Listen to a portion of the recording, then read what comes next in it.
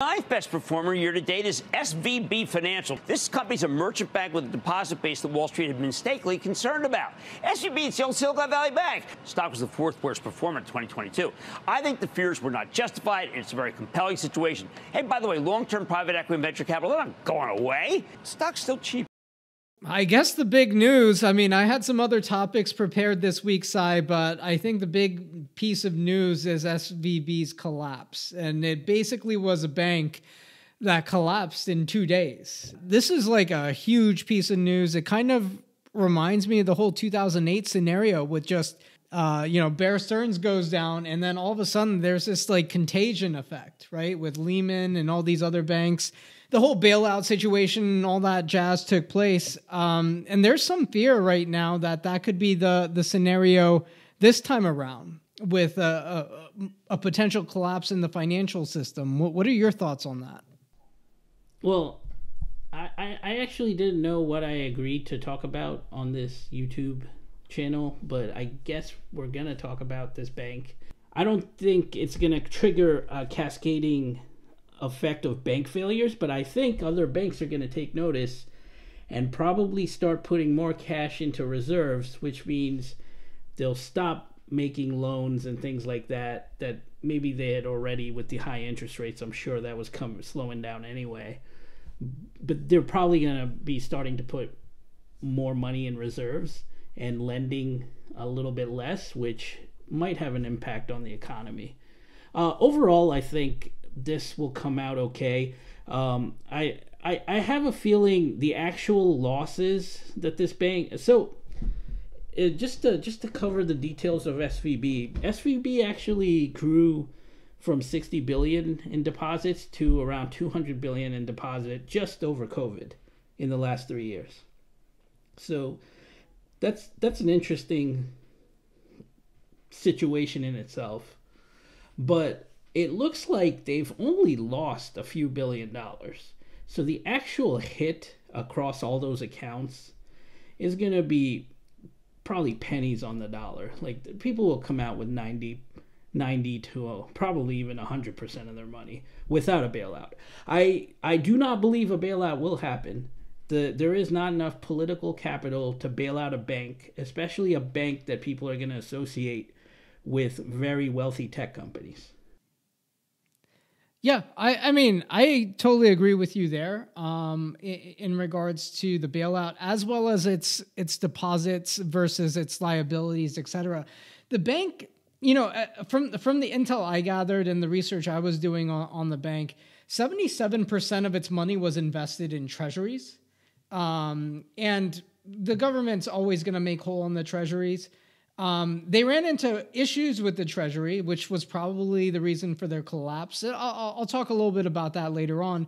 But they also have another 70 billion in loans that they have out. Um, that it's really difficult for them to make, uh, you know, to recall those loans or figure out a way to, you know, make depositors whole on those loans. But as long as the loans were written in, you know, high quality loans to good, responsible borrowers, uh, that 70 billion should also be very viable uh, for them to get back. So uh, the main reason for their undoing was essentially uh, they basically there was a run on the bank. Um, basically, fear got out about uh, SVB Financial uh, because they wanted to essentially sell shares, about 2.2 billion in shares, uh, to uh, to help um, you know mitigate some of the the withdrawals uh, that they were facing as a bank. And but between that and what happened with Silvergate Bank, um, so th- there was another bank failure, base, basically a bank failure, Silvergate Bank, um, where the stock price basically collapsed, and there was a run on on Silvergate um, that SVB could basically be in the same situation, you know. So um, a, small run on um, you know this financial institution, they, um, if you know, if they can't come up with the capital, they have to figure out a way to raise the capital. And in their case, with it, with the Federal Reserve's interest rates going higher and higher, um, rather than waiting for the Treasury bills to mature at face value, which they wouldn't have experienced really that big of a loss if they waited for the Treasury bills to mature, they have to sell bills that are now worth a lot less because interest rates are, are higher now. Um, and, you know, bond prices and um, bond prices as well as interest rates, these are inversely correlated, um, you know, uh, uh, they have an inverse uh, correlation. So interest rates rise, bond prices go down. So um, and, and, vice versa. Interest rates go down, bond prices go up. But in in SVB's case, they're now having to sell these bonds on the market with the interest rates being much higher, so they're fe- fetching a much lower price, which is resulting in their in their short term um, capital issues. Um, but yeah, they're they're basically couldn't come up with uh, with enough capital to make depositors whole in its present situation. And for that reason, banks shut down and FDIC is taking over. So, um, you know, my, my personal opinion on the matter is there. This is probably not systematic. SVB was uh, lending to a lot of venture cap uh, companies and bankers to the, those types of firms. So, um, you know, I, I, I would hope that their exposure is limited to just that but we just don't know the the ramifications yet. Um, and I guess we'll see how all this plays out next week. I I actually don't think there's going to be major ramifications. I think there will be short term, um, short term ramifications. Of course, like I saw an article, Roku has like uh, half a billion dollars stuck in there. Yeah, but I, I um, read that. Yeah, but by Monday, I think the uh, government will announce their plan. They're probably going to sell off the loans to another bank, and they're going to just sell the assets and recover. I, I'm going to guess most of the money, if not like a small haircut to some of the depositors. Um, now, I don't know how fast this stuff is recovered. Like, will these companies? These companies will get most of their money back. Will they get it by next Tuesday? Probably not. I don't know. It might take weeks or months as the government. Um, but I don't think there's long term ramifications, which actually um, I want to ask you something. This is going to have short term ramifications in that the entire financial sector is going to tank. And the tech companies that may have accounts or are perceived to have accounts are going to tank. So there's probably good opportunities to pick up some names that are just going to bounce back when this blows over. Um, of course, the flip side is will this start an overall is this the catalyst the market needed to finally just be like, okay, it's time for the cyclical recession? Yeah, it, it's funny you say that because over the last last week, banks like J.P. Morgan had quite a bit of a you know sell off. Um, you know, o- over the course of five days. I mean, not not by that much. Even Bank of America fell a lot, but banks like um, I mean, you can pull up a chart of FRC, and it had some of the most sick price action I've ever seen on on Friday. I, I took a I took a trade on FRC, but without even going into the trade, FRC just dropped like a rock on Friday. At one point, it traded as low as $40 before bouncing back. And then you also have like a, a stock like WAL. Um, WAL is another bank that has actually went down a lot. Um, and yeah, if the thing blows over, some of these might you know, I, I'm not going to tell people how to trade here. I don't know if I'm going to even pick these up right away. I, I, I, don't know what's happening right this second. But WAL dropped from like 70 bucks to like 50 bucks really quickly, you know? So um, a, a, lot of stocks are affected. And then there, there, there was one other one, SBNY. That was another ticker that I was actually watching on Friday for a trade. Um, but the price action was like nonsensical um, for for some time. Uh, you know, obviously due to extreme volatility.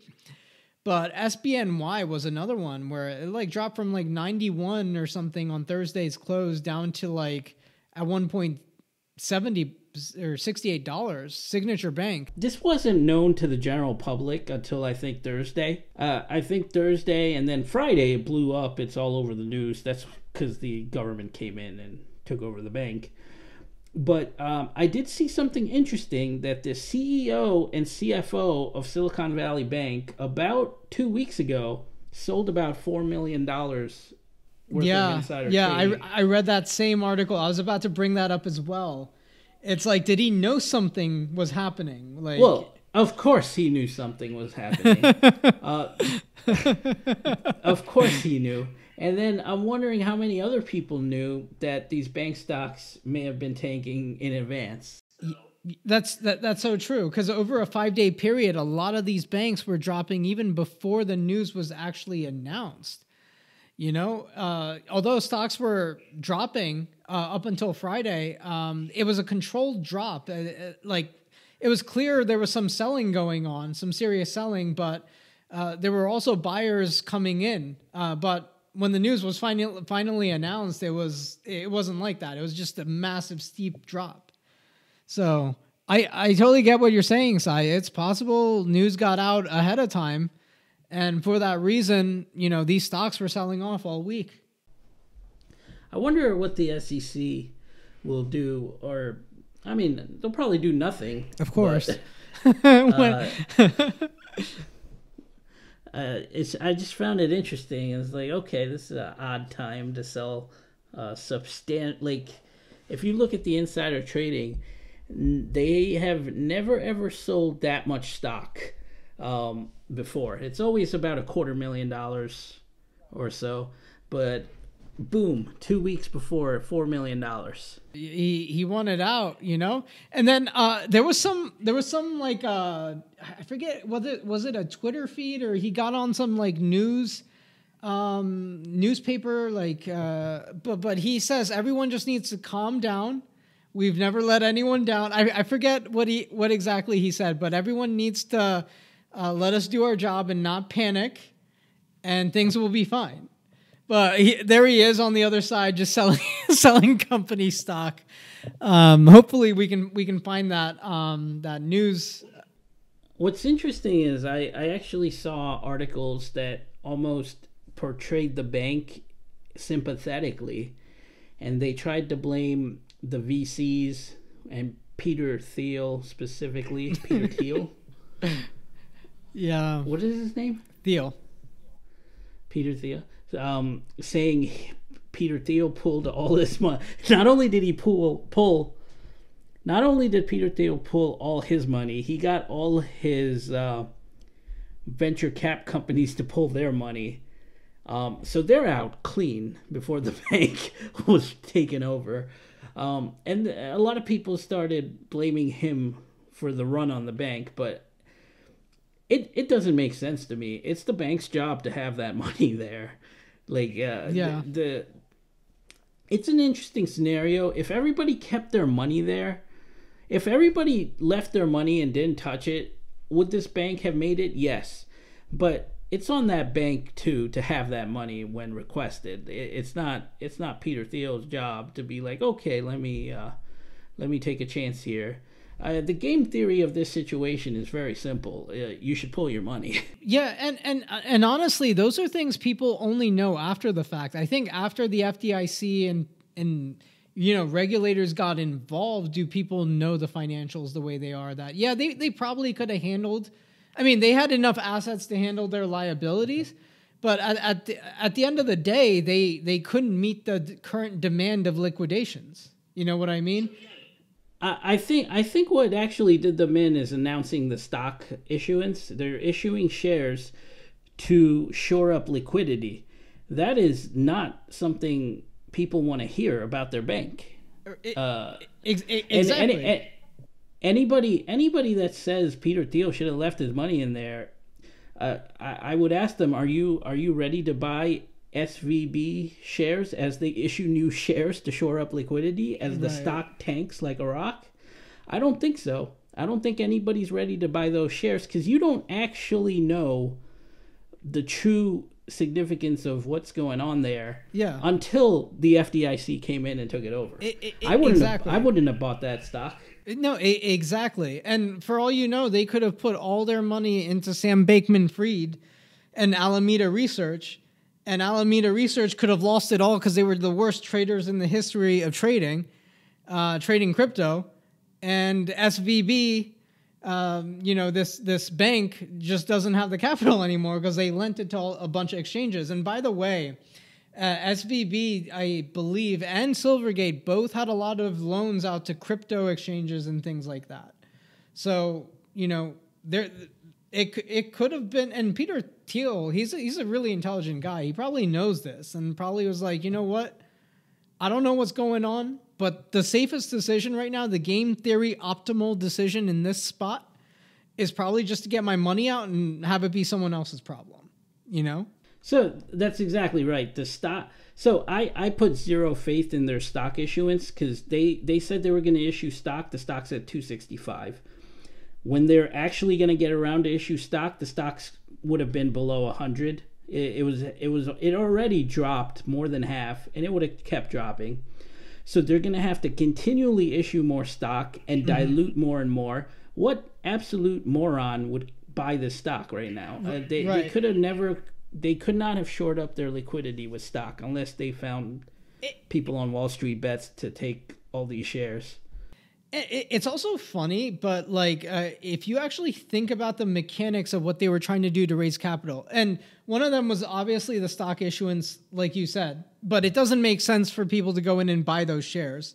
So the the price will probably be at a reasonable discount anyway, right? Um, but beyond that, beyond beyond that issuance, the other choice was to sell the treasury bills that they bought when interest rates were a lot lower while the interest rates are a lot higher. That's the other way they could have shored up their liquidity, and that's what banks normally are forced to do to meet, um, you know, uh, depositor demand if they if they want their capital back. But in this case, because interest rates have gone up, those bonds are worth significantly more, less. But let's even say they're a 10% or a 15 if they liquidated their entire portfolio. Let's say it's a 10% discount or whatever now they actually have a legit shortfall because the interest rates are are higher, right? But another bank taking over the treasury bills won't run into that problem because they have the liquidity to wait for those bills to mature. So they don't have to sell them on the market and take the loss. They'll just take the shitty interest rate. Uh, you follow what I'm saying? Yeah, exactly. Yeah, I, I, and I believe that's exactly what the government is gonna work out. Like this weekend, the government's out there working with banks. I'm almost certain the bank is going to be JP Morgan. And they're going to sell off some of those loans and they're going to ask them, hey, uh, take these treasury bills and wait until they come due.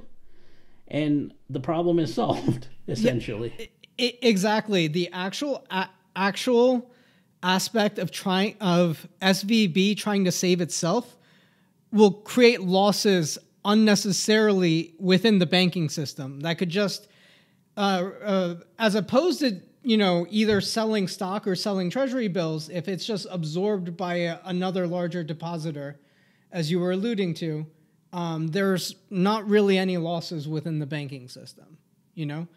Um, anyway. and, and, the depositors the real issue is i think most of these guys will be made whole if not lose a couple pennies on the dollar at most Right. Eh, but um, the issue is how long does all this process take? Yeah. um, I, I, I, that I cannot even begin to speculate about. Like uh, knowing the government, it, it, it, could take months, but maybe uh, they could put it.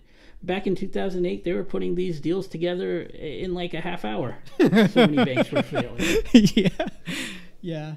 So I, I think the FDIC is gonna actually, even by by early next week, it's possible the the the two hundred fifty thousand dollar limit accounts will be made whole really quickly. But the question is about like you know companies like Roku with its four hundred and eighty six million dollar account.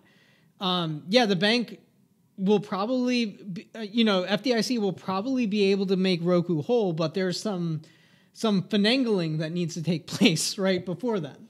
Um, so that that process, I think, is going to take some time to play out because you know, with government regulators, they they're very incompetent. Deals are either rushed, as you mentioned in 2008, where they were putting together deals in 30 minutes, forcing you know um, banks to absorb other banks, um, and, or, or you know, this could take like as in Bernie Madoff's Ponzi scheme unraveling like two, three years for everyone to be made whole because it's so complex.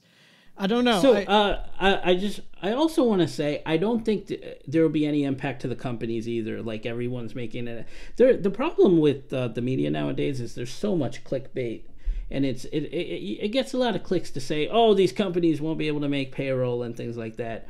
That's actually on the companies. Maybe they won't make payroll this week, but by next week it should be sorted. Like if Roku has half a billion dollars in this bank and the government comes out saying, hey, we have enough deposits to cover this, it'll just take six months to do it. Uh, Roku will be able to go to any other bank and take a loan against that half a billion dollars they'll have coming to them in six months.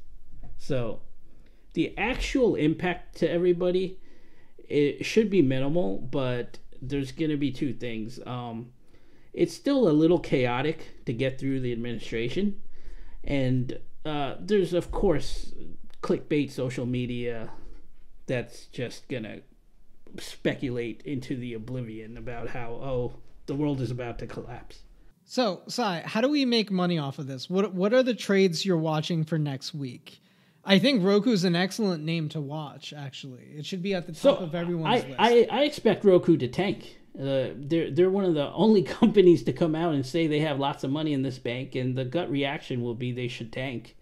And I have I a don't feeling- know. I I don't know when I would enter any of these positions. I would kind of wait to see if these keep going lower and bottom out. I, I would want the government to come out with a game plan and then it might be an opportunity to get in uh, on both good tech names and the banking sector maybe as a whole like with a banking etf or uh, specific uh, good banks. Yeah, like um, jp morgan or and things like that. Um, i think in like two to three months they'll all bounce back so I'm, I'm not a day trader so i'm not looking for specific flips to do on the day do you see any opportunities from this from a day trading perspective I think yes. So I'll probably be adjusting my watch list a little bit for the uh, for next week. Um, directly related to this situation, I'm probably going to be watching Roku, and I feel like a couple of other smaller tech names are gonna be um, are are, are gonna be worth watching. I think Teladoc is probably also gonna be affected by this, um, which is another you know larger tech name. Well, not like it's not a small venture cap name. It's a public name that could be affected, and uh, Twilio and Roku, and also a name like Coinbase. A, a lot of these companies, uh, Coinbase had a, lot of price action happening on Friday.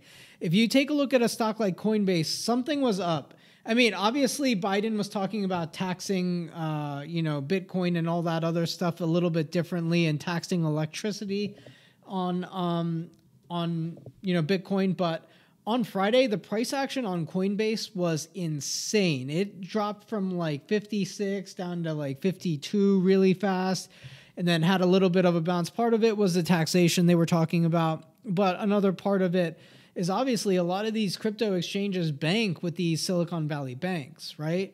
So that's another name I'm definitely looking at is uh, you know Coinbase. So um, I, honestly speaking, I don't think as traders or um, uh, you know whether you're a day trader or swing trader, it's usually not a good idea to focus on 50 different names. Those are the tech names I'm focused on, and obviously I'm still focused on like FRC had some disgusting price action on Friday. I traded FRC on Friday with very small size. I got a pretty okay trade in on FRC, but it dropped it from like 40 bucks and then it shot to 80 so fast like before I even had a chance to really blink. Um and, and you know, eventually I took a trade on it, but FRC um and then you know what, as what was the what was the trade you didn't catch it at 40 did you no, no, no. I actually shorted it at eighty dollars. Just a really, really small. Like I wasn't even gonna short it in size, man.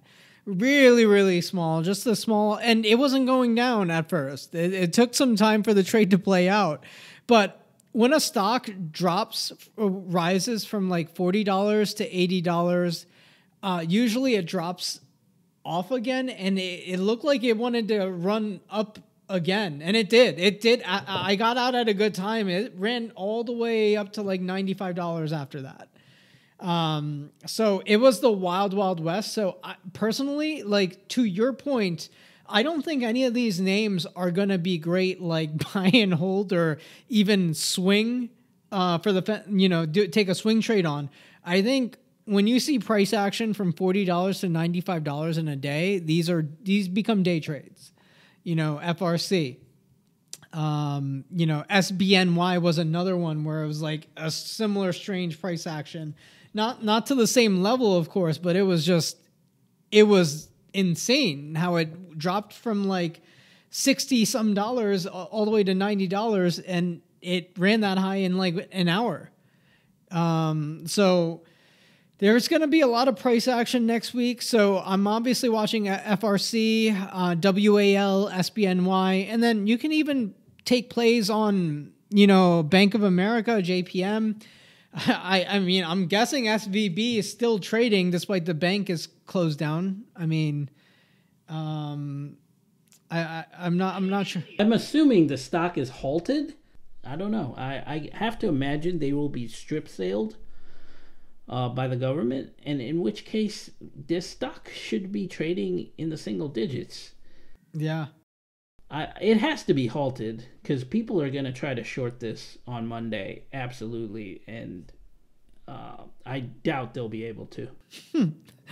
I mean, we'll see what happens. We'll see what happens. Sometimes, and it, it, it's very funny, but sometimes when everyone starts hitting the short sell button, even though the company is bankrupt, basically, you could see a massive squeeze, a Bill Hwang or a Carl Icahn style squeeze. Um, so you never know. You never know. That's why I like to day trade. I know not. So the reason uh, the reason I said it, it this should be trading in single digits and not zero is because what happens typically when the FDIC steps in to save um, the depositors, they will give, like you said, they would give the loan portion to another bank.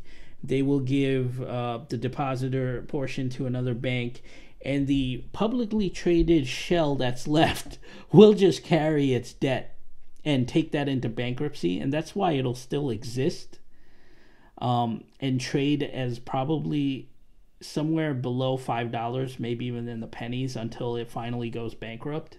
Um, it won't go straight to zero because it will still exist in some form with some assets as it goes through creditors and bankruptcy. Um, that's what I would expect. Like this, the it, it I see SVB at 106.04. I would expect the next price action to be somewhere between two and five dollars. wow, yeah, that's gonna be a very steep drop. Side, I guess we'll see. I'm I'm actually legit excited for what's gonna happen next week. So um let's let's take a look at that obviously i'm still watching tesla and all that jazz but let's not worry about that this upcoming week is definitely the week to be trading bank stocks and tech plays affected by these bank stocks. As far as I'm aware, Roku is the only one that's kind of really like known affected. But I I have a feeling.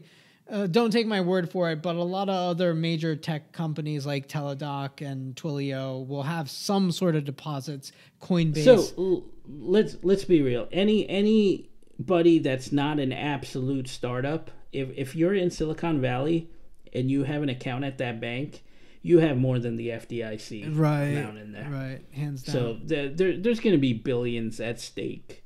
Exactly. Um, for different companies, they just haven't come out and said it. But that's that's the kind of swing trade I'm talking about. If Google comes out and said, "Yeah, we have like 10 billion dollars sitting in there," Google stock's going to take a hit but I don't think it'll impact anything in the long run. They'll be made whole and whatnot. So it, it might be a good opportunity to get into that stock. Exactly. A, Ex- exactly. And uh, to, to be blunt, I would rather pick up the tech names that might be affected for more of a short term to long term trade um, than I would even some of these banks. Um, because I feel like some of these tech names, they're going to be made whole eventually their business is not going to be affected. They'll they'll be able to get financing other ways. So Um, I'm I'm very curious. I hope more companies start the coming absolute out. startups are the only ones that will struggle a little bit. But again, i if you can prove that hey, you had this amount of money in that account, and the government will come out and say you'll be made whole in X amount of months, you're going to be able to borrow against that at another bank.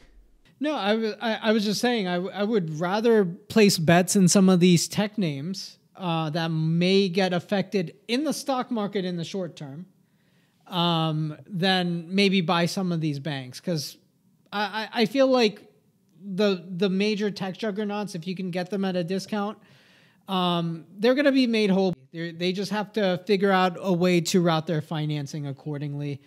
Those are the types of things I'm waiting to see what happens next week if if more companies come out and start announcing things like that. That that's what I'm looking to from a non day trading perspective.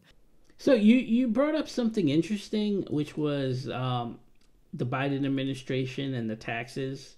The, the thing is, I did read that the capital gains tax uh, would double to forty percent for uh, people of a certain income. What are, what are your thoughts on that? I don't. it- that's that that's would affect that- you. it's just not going to pass. There's like, uh, I mean, he he can go for it all he wants. The people that are voting and keeping these politicians in power are not going to want their taxes increased. That's that's exactly who's going to get affected. This is all just show and tell. It's a it's a dog and pony show, whatever you want to call it. This is. I'm not even going to lose sleep on that.